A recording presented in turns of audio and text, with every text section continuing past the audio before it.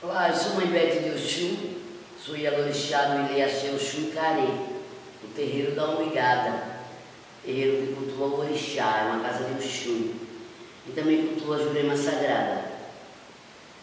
Esse terreiro ele tem um coco, que é o coco de Umigada, onde a gente faz uma sambada, que é a sambada de coco do Guadalupe. E a gente faz essa sambada há 23 anos consecutivos. Essa sambada, ela é herança dos avós, dos bisavós, a gente traz esse coco como herança da família. Ele tem mais de 100 anos na nossa família.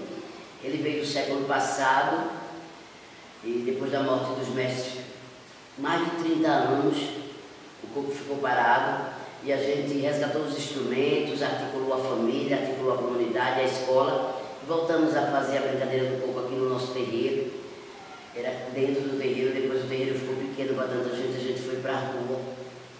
E há 23 anos a gente faz essa sambada e junta mais de 4 mil pessoas todo mês aqui na nossa comunidade. Já está no calendário né, da cidade de Olinda. Paramos agora só por conta da pandemia. O terreiro também faz ação de saúde. Sempre que a gente pode, a gente articula é, o, o, o ônibus da mamografia para fazer os exames de mamografia, taxa de glicose, a fina pressão, as vacinas, né? DST AIDS, enfim, a gente faz essa conversa sobre saúde, atendimento básico à saúde do terreiro, que é da rede de saúde do terreiro. A gente tem uma rádio, que é a Rádio Amnésia, uma rádio comunitária, situada aqui dentro do terreiro da Umigada, porque a gente acredita que a comunicação é um direito, né? um direito humano, um direito é, universal. Então a gente tem essa rádio comunitária para poder a voz né, do povo de terreiro, as vozes das mulheres negras serem ouvidas, porque nossas vozes não são ouvidas, não estão postas. A mídia, na realidade, a grande mídia, ela não retrata o nosso terreiro, ela não retrata os povos de matriz africana, não retrata a música do terreiro, a dança, o canto, né, os ritmos do terreiro.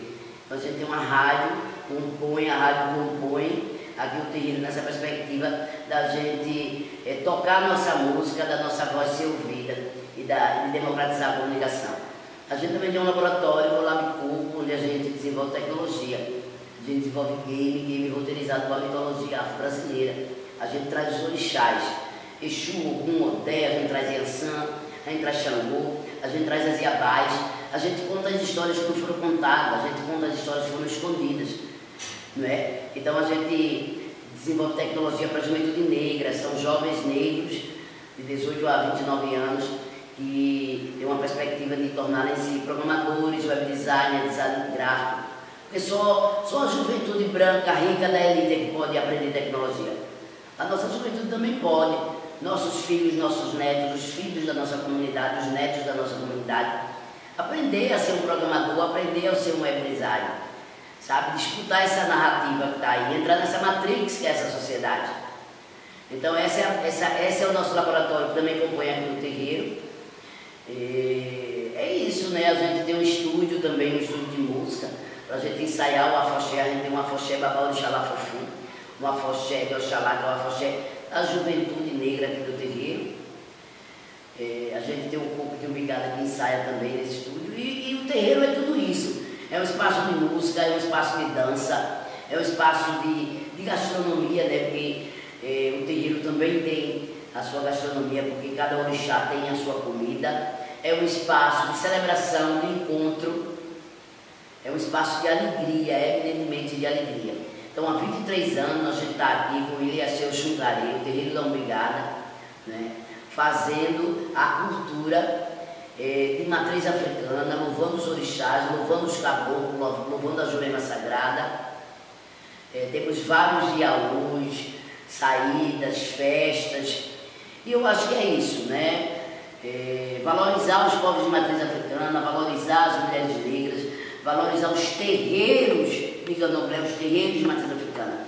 Muito importante nesse momento, a Lei Aldir Blanc, atender nesse momento de pandemia, os povos matriz africana que não têm políticas públicas para a gente. A gente convive com muita intolerância, cada vez mais a gente percebe que a, a própria política né, é, é, é, não atende o povo de terreiro. E agora então, né, o ministro gente sabe que a gente fica numa linha muito tênue, né? De, de intolerância. Então aqui é o Iliaxé, o Jungaré, terreiro da Umbigada, um terreiro que tem brinquedos, tem afoxé, tem coco, tem uma juventude muito aguerrida, a juventude negra, sabe? Com, com, com alegria, com discussões, inclusive, sobre a importância da juventude no cenário, né, no cenário nacional, no cenário das políticas culturais. E temos mulheres, né? temos mulheres negras, eu, minha mãe, minha mãe Lúcia de Olhar, e tantas outras Yalorixás. A gente tem uma rede de mulheres de terreiro aqui, eu faço parte da rede de mulheres de terreiro, e o Iliaxeu Xungaré integra essa rede, nessa perspectiva de que vida longa nossas Yalorixás. Pensa a mãe Lúcia, pensa todas as mães ancestrais Pensa minha mãe Oxum, Calife, Deromanto, Tuniqueri, Manildu e vida longa aos terreiros, matriz africana municipal.